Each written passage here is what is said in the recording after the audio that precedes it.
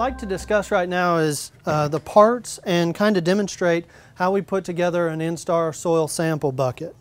What you want to do is start with just a standard five gallon bucket that can be purchased at a hardware store.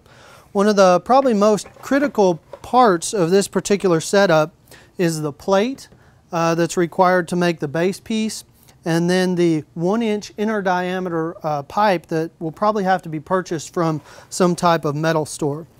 Uh, the plate size can vary based on what you're comfortable with. Obviously, I would prefer like a 7 gauge or a 5 16 um, inch thickness on the plate just to reduce the weight because um, by the time you get it all put together, it's, it can weigh a significant amount. The uh, 1 inch ID pipe is pretty critical because it's going to form a tight fit with our auger that I'll show you just here in a minute. You just simply want to cut a hole in the center of this plate and insert the one inch ID pipe, leaving roughly an inch and a half sticking out um, at the base here. The purpose of this little nipple here is to prevent soil from escaping around the bottom of this plate when you're taking the soil sample. You also want that same pipe to come up roughly five to six inches in the center of your bucket. And what this does is just allow the soil to come up be augered or flighted out and fall down into the bottom of the bucket without going back down into the pipe. Once this plate is fabricated, um, obviously you want to have some type of ear or foot pad here on the sides because when you're augering the soil out, the torque that's created can sometimes cause the bucket to spin. So some type of foot pad or something that you can step on while taking the sample is kind of a critical thing that you need to make sure and include uh, when you're fabricating this. Once it's all done, you can simply cut a hole in the bottom of your bucket as close to the size of the outside diameter of your one inch pipe. And what we've chosen to do is use uh, basically flathead screws to attach the plate to the bucket.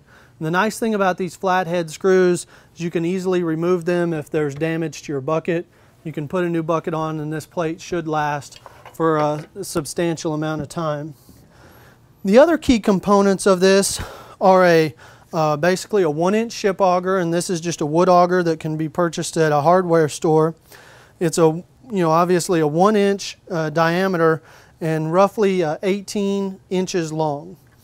The next piece is of a similar brand you need to purchase an extension that will attach to your one inch ship auger and these are generally about 18 inches as well.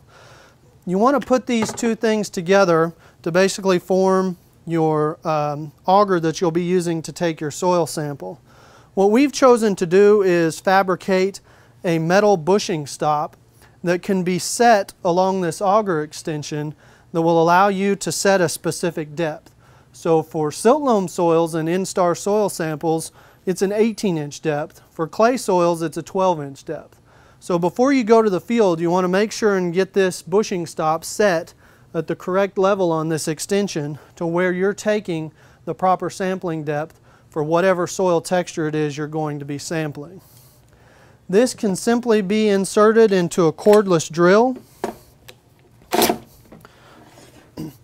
what you have here is just a standard um, cordless drill. I would recommend at least a 20 to a 24 volt drill, preferably something with a lithium ion battery just because they're a little more heavy duty. Battery life is of key importance when you get out into the field.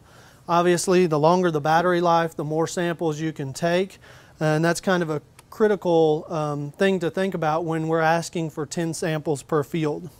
The nice thing about this setup is the one inch diameter ship auger fits perfectly into the center of our sample bucket and allows the soil to be flighted up and easily caught in the bottom.